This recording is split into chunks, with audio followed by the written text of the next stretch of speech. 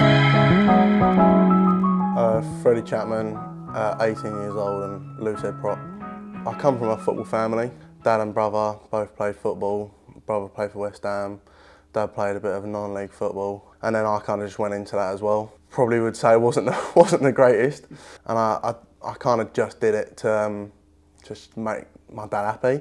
Um, but he's a, he's very supportive, so once he kind of realised that I didn't want to do that, he, um, he kind of said like, yeah, that's fine, but I'd, I want you to do something. And um, I kind of said, oh, well, I want to give rugby a go. And he was like, no chance. I was like, what do you mean?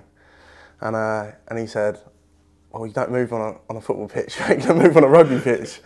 From there, give it a go, yeah, went down to a local uh, rugby club Upminster and yeah, loved it ever since. Got into a county setup, Essex, and then it started getting into a bit more of like an academy setup. And from there, they selected the Saracens Academy, and I ended up getting selected for that.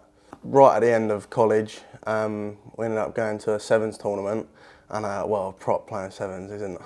it's a bit of a a bit of a question mark, but ended up going to a sevens tournament, and there was a Wales Exiles uh, bus there. My coach, he's from Wales, and he kind of said like, oh yeah, you should sign yourself up. So um, I was like, all right, I'll, I'll give it a go. And then um, Gareth Davies ended up getting in contact with me.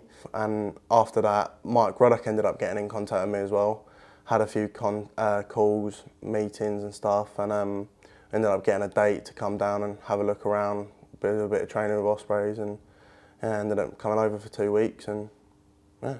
Freddie was in the Saracens age grade uh, team, uh, teams, and uh, but was Welsh qualified, so he's come down.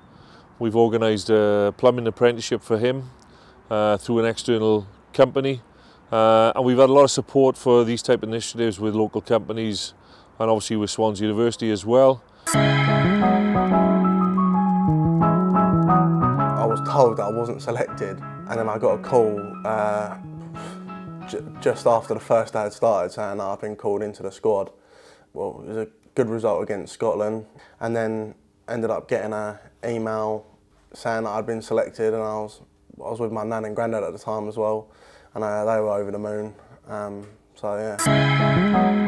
When I, when I first arrived I, I couldn't drive at the time so uh, the only thing I really had was a, was a bike and obviously it was like, as soon as I got it so I didn't really know the boys well enough to go oh can I manage to grab a lift every day but uh, so yeah it was cycling to training every day just trying to get used to the, the city and stuff and um, I ended up living with Mike Ruddock for for for a few weeks, um, which was a which was a fun, funny and weird experience, but it was it was very good and learnt a lot from him. So yeah, it was it was a bit tough at the start with the, the cycling because early early mornings and having to get up and cycle at five in the morning in the pouring rain or like late at night, like getting home at like 11 o'clock when I'm soaking wet to then go, go straight to sleep and then wake up again at five in the morning to then do it all over again. But yeah, it was, I wouldn't have changed it and I think it's pushed me forward a bit harder.